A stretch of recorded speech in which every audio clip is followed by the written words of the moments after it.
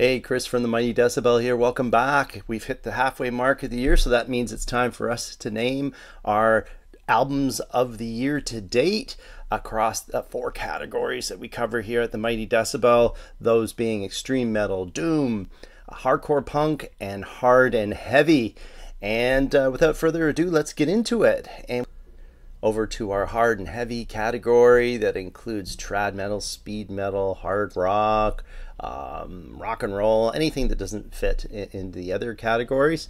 And we're going to split this into two uh, substacks here. First being traditional heavy metal, where we have two records to talk about. Uh, the first being uh, Wild Rites and Ancient Songs, the sophomore full length from Philly outfit Blazon Rite. Uh, so this record shines in the songwriting department, each track differentiated and memorable, begging the listener to let loose and take part in the imaginary uh, tales of battle. And Johnny Halliday's chest beating vocals add that extra zest that will have you reaching for your sword and shield while you're headbanging, of course. Excellent true metal that needs to be heard.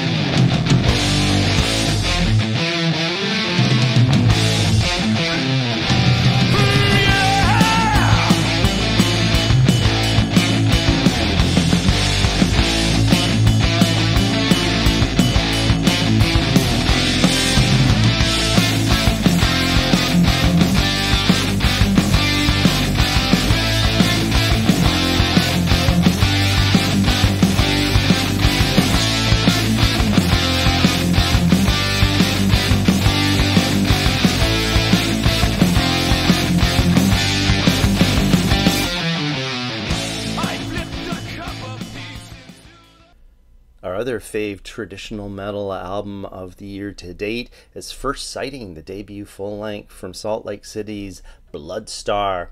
So this one is a little bit more melodic than Blazon Rite's record, but similarly sports uh, great songwriting and performances. Again, each track is a keeper, and the energetic uh, rhythm section ensures that it's heavy enough even to satisfy the hardcore trad metalheads like me. And I should mention the great performance at the mic uh, provided by Madeline Smith, who steers clear of histrionics that usually uh, creep into these types of albums, instead staying in the pocket, her enthusiasm and talent obvious. Excellent stuff.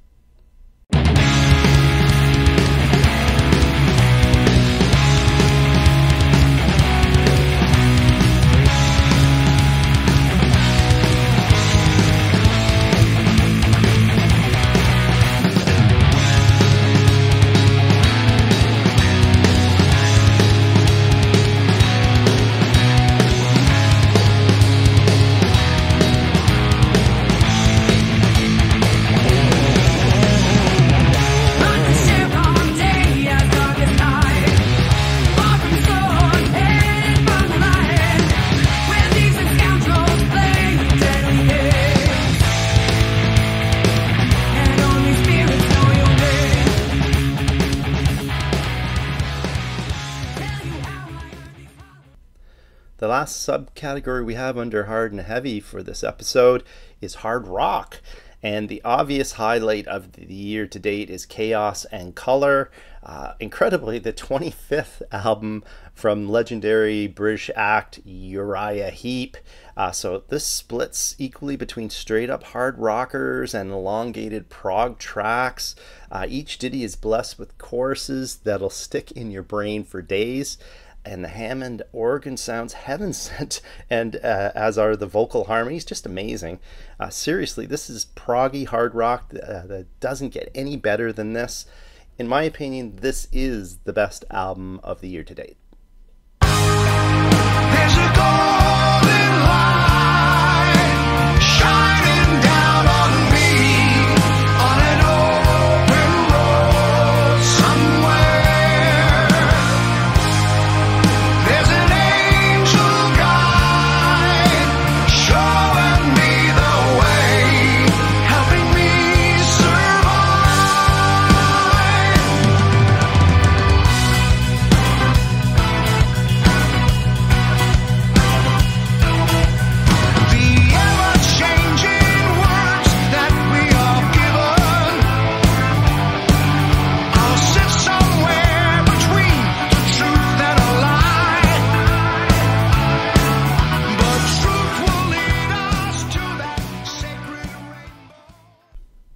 There you have it. The Mighty Decibels fave albums of the year to date of 2023.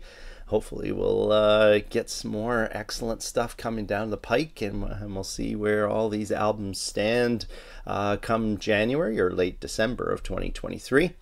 Are there any albums that you believe should have been on the list? If so, put them down below so everybody can check them out.